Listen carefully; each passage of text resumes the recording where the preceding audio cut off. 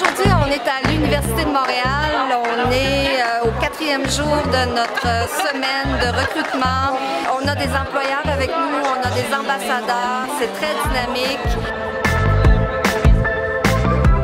On fait compléter des fiches de suivi individuel. On parle de nos incitatifs financiers comme le programme Mon stage d'études en région, comme programme de soutien aux entrevues.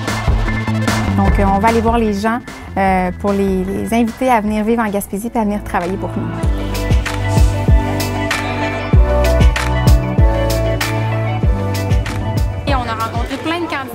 Des potentiels stagiaires, des, euh, des gens qui sont prêts à travailler maintenant, euh, des gens qui sont prêts à venir s'établir dans un, deux ans, même un petit peu plus loin.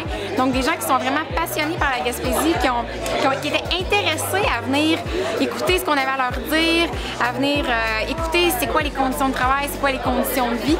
Donc, je repars avec une belle grosse pile de candidats avec qui je vais avoir des suivis à faire. C'est vraiment une super occasion d'aller chercher des noms, d'aller chercher des, potentiels intéressés à venir travailler.